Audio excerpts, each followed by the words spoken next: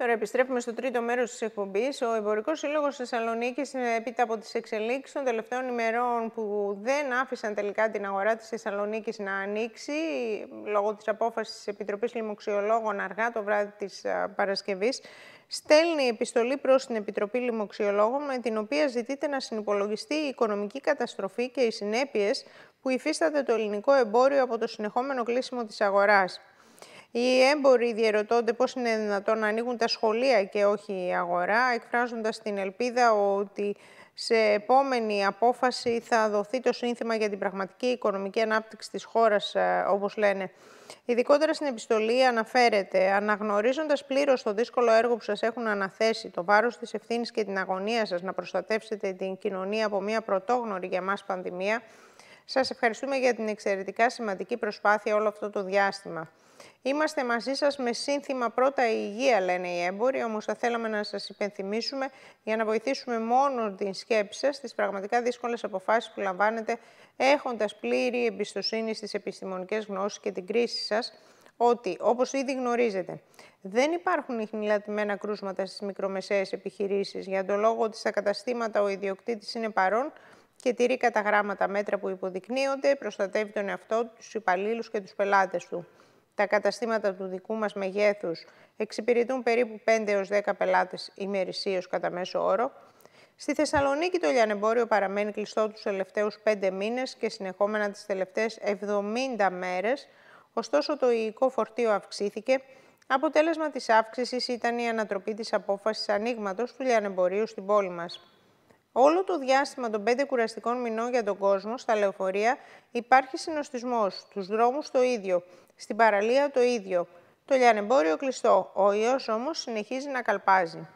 Σεβόμενοι πάντα τους θανάτους από τον ιό, τους ασθενείς που πραγματικά αγωνιούν και παλεύουν για την επιβίωσή τους και προσπαθώντας να προφυλάξουμε τις οικογένειές μας αλλά και να βρούμε τρόπο να επιβιώσουν οι επιχειρήσεις μας, προσπαθούμε να καταλάβουμε τι φταίει. Αναφέρεται χαρακτηριστικά στην επιστολή του Εμπορικού Συλλόγου Θεσσαλονίκης. Φταίει η κινητικότητα στα λεωφορεία, η κινητικότητα στους δρόμους, φταίει το λιανεμπόριο που ήταν κλειστό πέντε μήνες και συνεχόμενα 70 ημέρες το τελευταίο διάστημα. Ό,τι και να φταίει, δυστυχώς το αποτέλεσμα για μας είναι το ίδιο. Απόλυτη καταστροφή. Ο θάνατος του, του εμποράκου τονίζεται χαρακτηριστικά στην επιστολή και αναφέρει ο Εμπορικός Σύλλογος ότι δεν μπορούν οι έμποροι να κατανοήσουν πώς με το ίδιο τόσο επικίνδυνο υλικό φορτίο ανοίγουν τα σχολεία και όχι το λιανεμπόριο.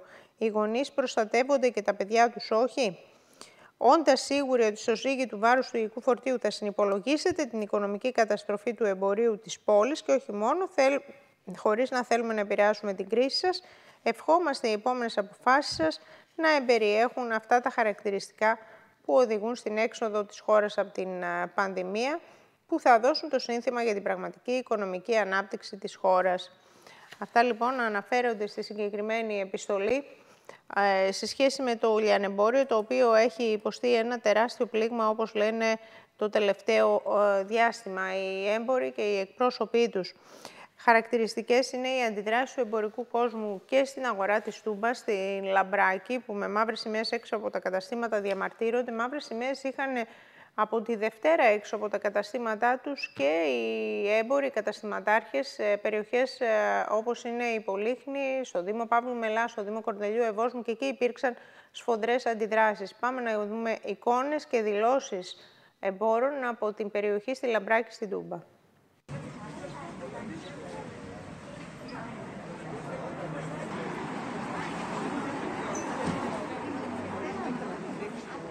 Με πλακάτα έξω από τα καταστήματά τους, οι έμποροι από την Τούμπα πραγματοποίησαν διαμαρτυρίες στην οδό Λαμπράκη και ζήτησαν άμεσα την άρση της απόφασης για το κλείσιμο της αγοράς στη Θεσσαλονίκη. Σήμερα προσπαθήσαμε και κάναμε μία συγκέντρωση από τις 7 το πρωί, αγανακτισμένοι όλοι οι συνάδελφοι που έχουν καταστήματα και διεκδικούμε και απαιτούμε, παιδιά, την, το άμεσο άνοιγμα των καταστημάτων μας. Μπορεί να υπάρχει ο κορονοϊός και να αυξάνει, δεν το αμφισβητούμε, αλλά έχουμε αποδείξει περίτρανα από όλες τις καταστάσεις αυτές το ότι το λιανεμπόριο δεν, δεν οφείλεται στο λιανεμπόριο η αύξηση του κορονοϊού, διότι ευλαβικά τηρούμε τα μέτρα ασφαλείας και το πρωτόκολλο και βασικά είμαστε κλειστά εδώ και πέντε μήνες όλο τον καιρό. Άρα δεν, μεταδίδε, δεν αυξάνεται η, ο κορονοϊός από εμά από το λιανεμπόριο. Είναι ο δικός μας τρόπος να διαμαρτυρηθούμε με βάση τα μέτρα ε, που απαιτούνται. Οι έμποροι ανέβασαν συμπολικά τα ρολά, λέγοντας πως δεν θέλουν να εργαστούν παράνομα αλλά νόμιμα με όλα τα μέτρα ασφαλείας, καθώς θεωρούν πως το λιανεμπόριο δεν αυξάνει τα κρούσματα κορονοϊού.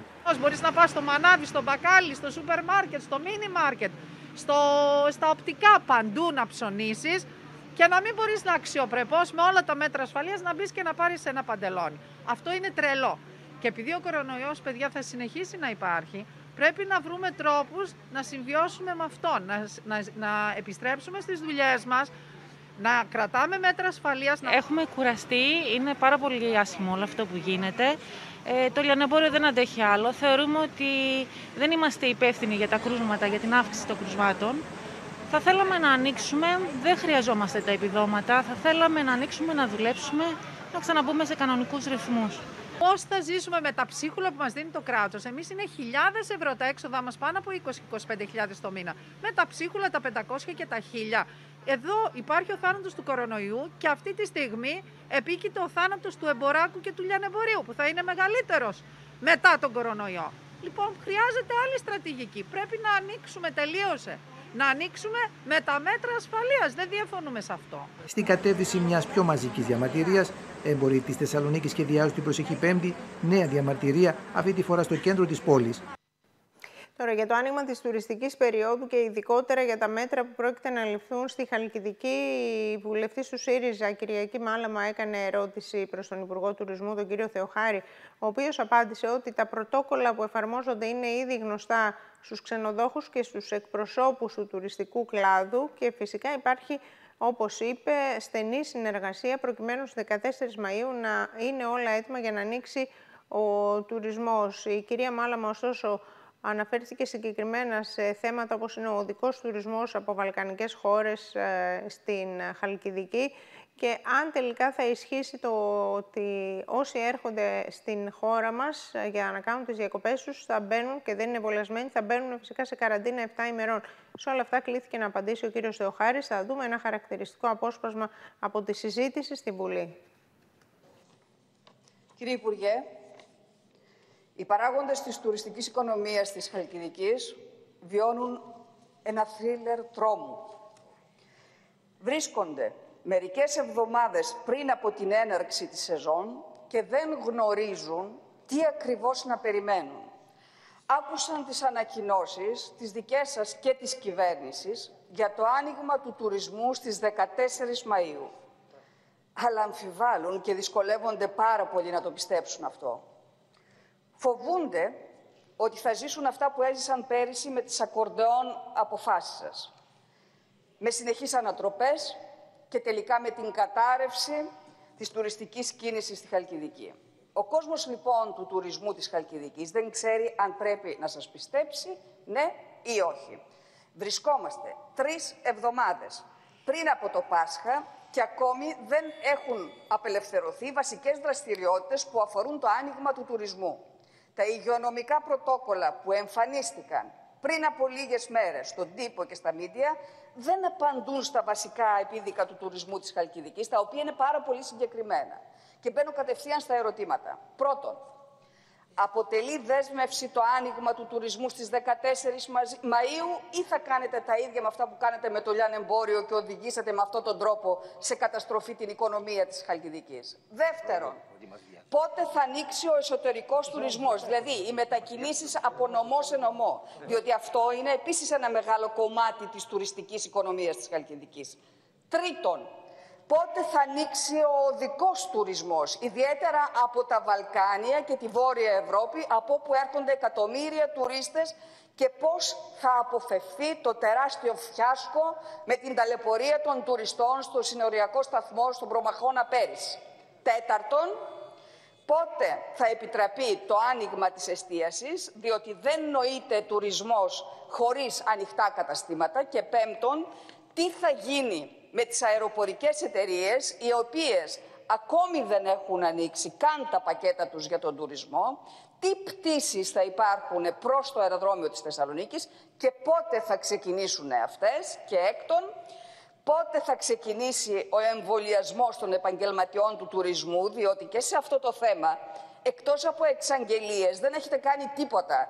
Και δεν πιστεύω πραγματικά, πιστεύετε εσείς ότι στις πέντε εβδομάδες που μας μένουν ότι θα προλάβετε να εμβολιάσετε όλους τους επαγγελματίες του τουρισμού, έστω την πρώτη δόση του εμβολίου και τελευταίο έβδομο, με ποια μέτρα στήριξης σε εργαζόμενους και επιχειρήσεις θα επανακινήσει ο τουρισμός ώστε να ανατραπούν και να αποτραπούν τα λουκέτα και η μαζική ανεργία.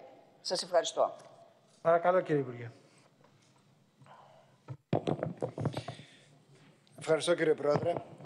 Κύριε Μάλαμα, ε, προσπαθώ έτσι με μια, να παρακολουθήσω έτσι όλη αυτή την κινδυνολογία που περιγράφεται παρόμοιας ε, φύσης με αυτήν που ακούγαμε και πέρσι ε, και σε σχέση με το άνοιγμα, σε σχέση με το σχεδιασμό. Ε, θα σας πω, θα σας απαντήσω κυρίως πρώτα απ' όλα στο κεντρικό ερώτημά σας. Ε, αφήνω την ε, σύγχυση που υπάρχει στην ίδια την ερώτηση ότι η κυβέρνηση εντείνει την αβεβαιότητα, αλλά παρόλα αυτά λέτε μέσα στην ερώτησή σας ότι έχουμε κάνει ανακοινώσεις και έχουμε δώσει έναν ορίζοντα για το πότε θα ανοίξει ο τουρισμός, αλλά και το πώς. Θα επανέλθω και σε αυτό. Ε, η χώρα μας είναι από τις πρώτες χώρες οι οποίες και έχει προετοιμαστεί και έχει δημιουργήσει σχέδιο και το υλοποιεί και έχει ανακοινώσει. Χαρακτηριστικό του πόσο νωρίς έχουμε ξεκινήσει είναι ότι η επιστολή του Πρωθυπουργού για το ψηφιακό πιστοποιητικό, για την πράσινη γραμμή υγείας ώστε να μπορέσουμε να έχουμε επανεκκίνηση των μετακινήσεων είναι στις 12 Ιανουαρίου.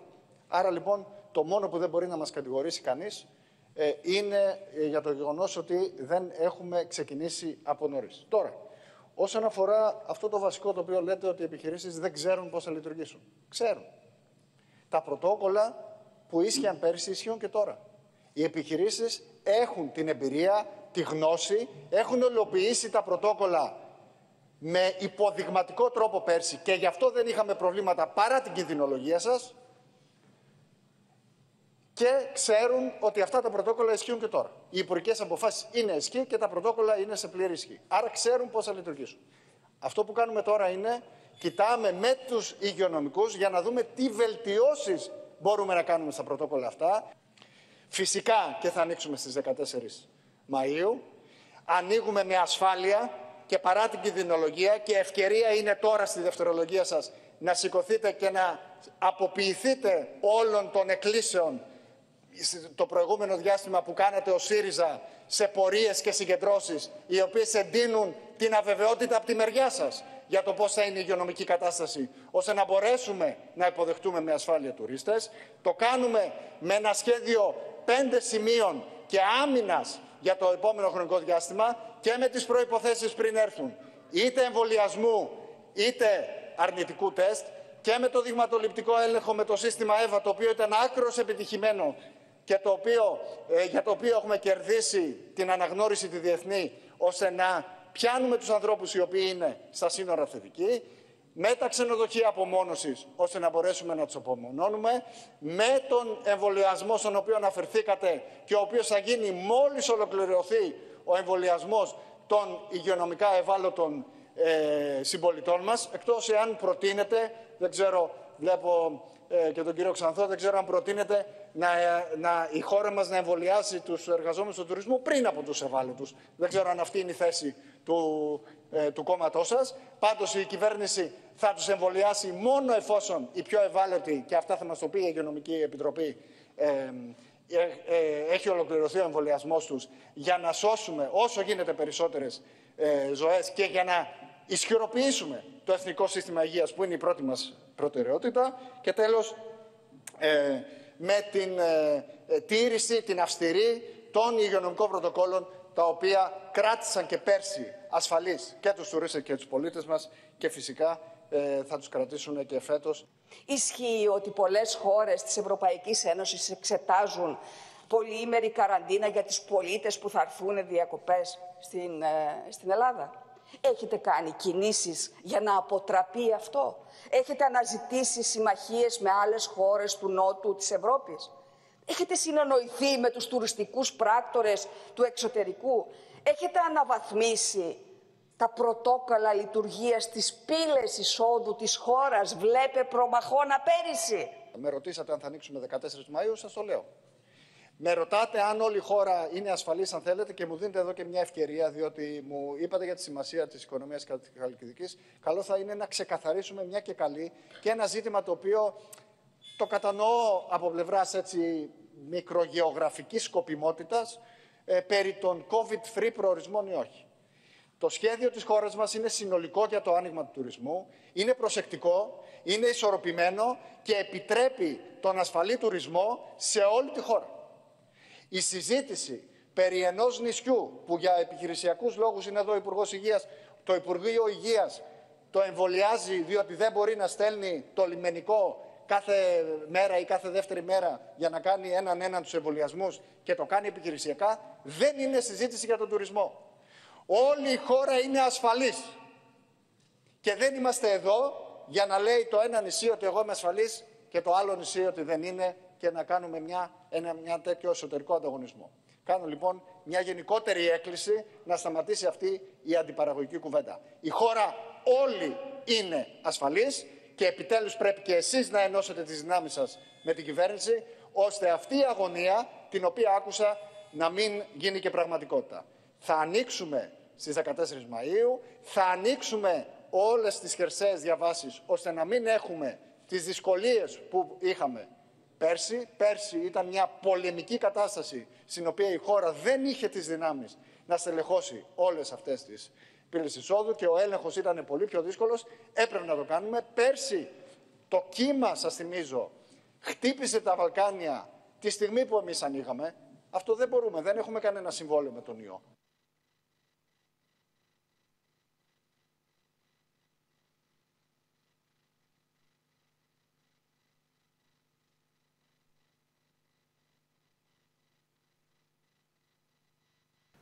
Αυτά λοιπόν απάντησε ο Υπουργός Τουρισμού Χάρης Θεοχάρης. Ε, Ούτως ή άλλως για το άνοιγμα της τουριστικής περίοδου, το Πάσχα φυσικά ε, δεν θα είναι διαθέσιμο για διακοπές και για μετακινήσεις 14 Μαΐου και μετά ε, έποτε οι ξενοδοχειακές μονάδες, οι τουριστικές μονάδες και επίσης ε, το μεγάλο ερώτημα είναι τι θα γίνει με τον οδικό τουρισμό και όσους δεν εμβολιάζονται, αν τελικά θα εφαρμοστεί επίσης το πιστοποιητικό, το πράσινο ψηφιακό πιστοποιητικό για τους εμβολιασμούς. Πάμε τώρα σε διαφημιστικό διάλειμμα. Θα επιστρέψουμε για να δούμε στο επόμενο μέρος της εκπομπής μας τις δράσεις της ΧΑΝΘ όσον αφορά την συγκέντρωση τροφίμων, άλλη μια αξιέπαινη προσπάθεια που συντελείται αυτές τις ημέρες και μέχρι τα μέσα του μήνα. Διαφημιστικό διάλειμμα σε λίγα λεπτά πίσω.